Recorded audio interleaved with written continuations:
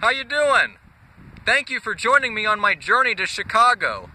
Just two more days until I see Batman vs. Superman. Boy, I tell you, it's been a wild journey. Well, today I'm going to talk to you about the cereal for Batman vs. Superman. That's right. Warner Brothers and DC teamed up and gave us Batman cereal and Superman cereal. And what I'm going to do is review both of them and compare them. Let you know which one tastes better. So first off, we have the Batman cereal. Now the box promises us a chocolate strawberry flavor. Well, unfortunately, like Batman Forever, this is a very uneven flavor mixture. One second, I'm tasting healthy fruit. The next second, I'm tasting unhealthy dessert.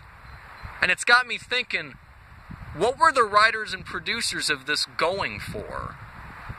What was I supposed to feel from this cereal? I don't know.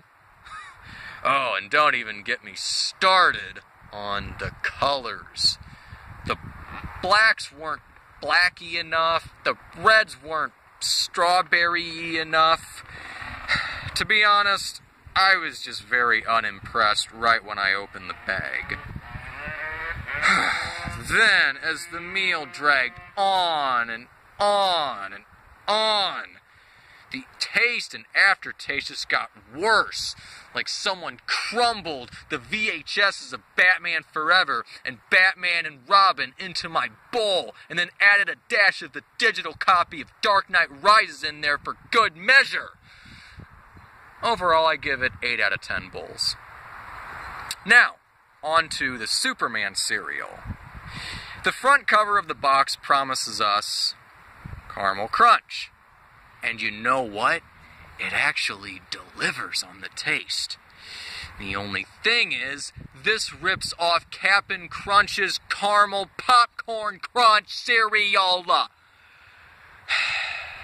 The lack of originality was an immediate turnoff. I really felt like I was at work when I was pouring this unoriginality into my bowl. But, like I mentioned, it was good. But it would have been great if it didn't cut the roof of my damn mouth. Come to think of it, Warner Brothers in DC had the perfect, I'm telling you, the perfect golden opportunity to take the best part of Cap'n Crunch and leave out the worst mouth cutting part. And they fumbled the ball. I think the Superman cereal had a more consistent tone than the Batman cereal, but it was such a squandered opportunity, and that's what makes it really painful for me to give it this rating. 3 out of 10 bulls. Therefore, Batman is the clear victor. Do you agree with my review? Let me know in the comments section. I have to continue evading the authorities.